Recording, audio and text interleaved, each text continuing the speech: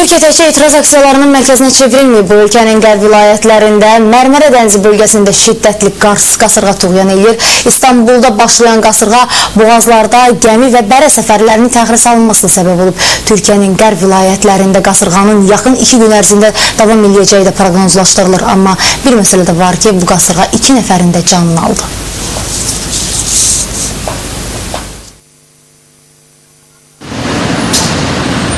İstanbulun bəzi bölgələrində güclü küləklər ağacları kökündən çıxarıb. Sahilyanı zonalarda hündür dalğalar qeydə alınıb.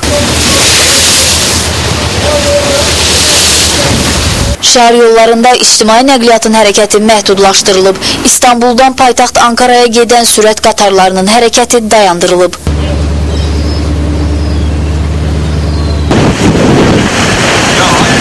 Bursa şəhərində isə qasırğa ölümlə nəticələnib. Stadion tikintisi üçün istifadə olunan qaldırıcı kranın aşması nəticəsində bir nəfər dünyasını dəyişib.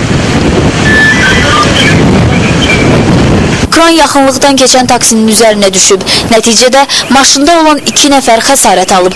Sərnişini xilas etmək mümkün olsa da, taksi sürücüsü xəstəxanada dünyasını dəyişib.